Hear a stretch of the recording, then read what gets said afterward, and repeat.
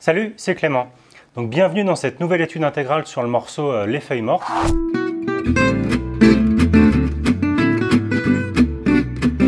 Les études intégrales, c'est un format de cours dans lequel tu vas apprendre plein de concepts, plein d'outils musicaux, tout ça orienté autour d'un morceau. Mais c'est pas juste apprendre un morceau en fait, c'est vraiment apprendre plein d'outils musicaux, plein de gammes, d'arpèges, de concepts, de substitutions, de plans, de phrases, etc. qui vont te permettre donc de bien jouer ce morceau-là, mais aussi d'enrichir ton vocabulaire musical pour ensuite jouer plein d'autres morceaux. Pour accompagner les études intégrales, tu as aussi le guide PDF. Donc c'est un, gros PDF comme ça.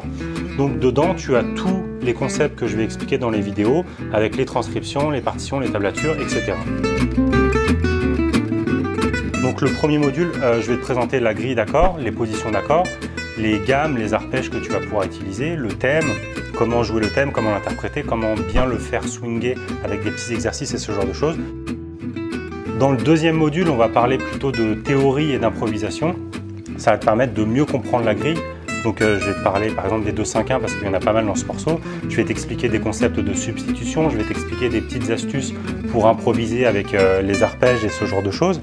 Et dans le troisième module, bah, ça sera la mise en application de tout ça, avec différentes études à différents tempos, avec plein de playback, ce qui va te permettre de rejouer le morceau. Tu auras plusieurs versions que tu que as en tablature dans le PDF.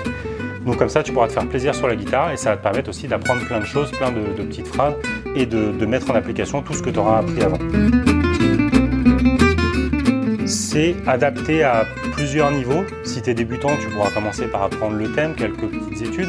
Si tu es déjà un petit peu plus avancé, bah, tous les concepts de substitution, tu vas sûrement apprendre des schémas de, gamme et d'arpège, peut-être que tu ne connaissais pas. Donc ça va te permettre d'enrichir ton jeu. Ça va te faire apprendre du vocabulaire. aussi euh, de choper des petites phrases pour les adapter à ton propre jeu. Tu auras aussi euh, quelques petits plans sur les 2-5-1 parce que les 2-5-1, il y en a beaucoup dans ce morceau. Donc ça fait vraiment plein d'outils, plein de concepts musicaux. C'est plein de gammes, d'arpèges, d'accords, etc. qui vont te servir sur ce morceau, mais aussi pour enrichir ton jeu, pour après pouvoir jouer d'autres morceaux.